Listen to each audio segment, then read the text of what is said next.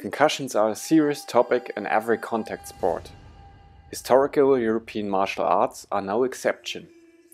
My name is Martin and in this video I will share with you some important tips that can literally save your neck.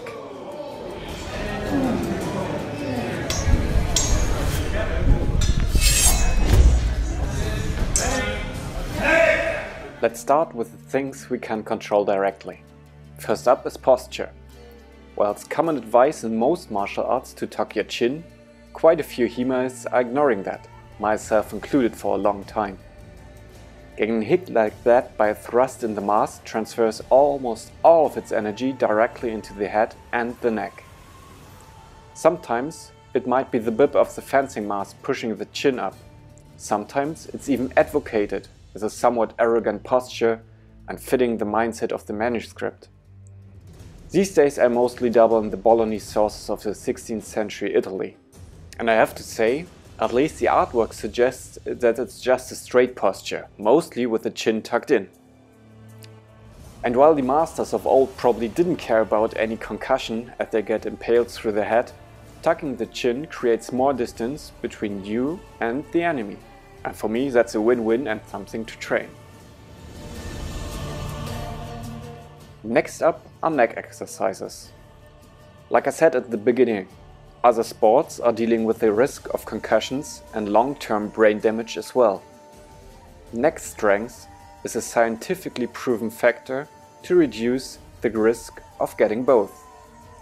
So here are some simple exercises to work on a better posture and strengthening your neck. Okay, just a quick heads up. Pay attention to your body and don't push yourself too hard. I'm a fitness coach, not a doctor. If you experience any pain, stop the exercise. Okay, let's begin. Lie down onto your back. Stretch your head. Make yourself as large as possible. Tuck your chin and raise your head until you reach your chest. Proceed slowly and keep your chin tucked.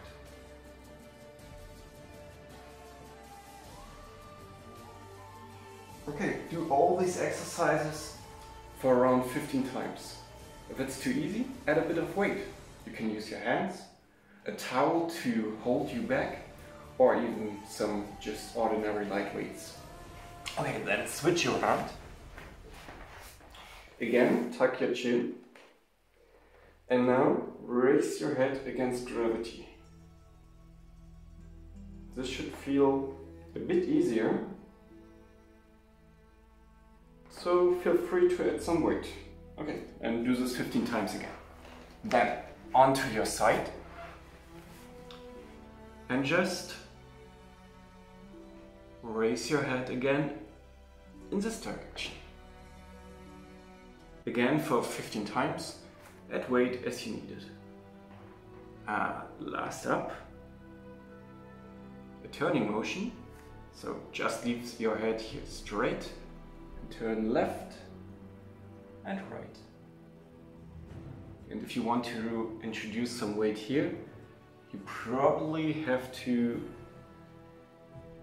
attach it to the front of your head. So using the lever. Or you could just slightly push with your hand downward. Okay, 15 times again and then switch on the other side and that's it.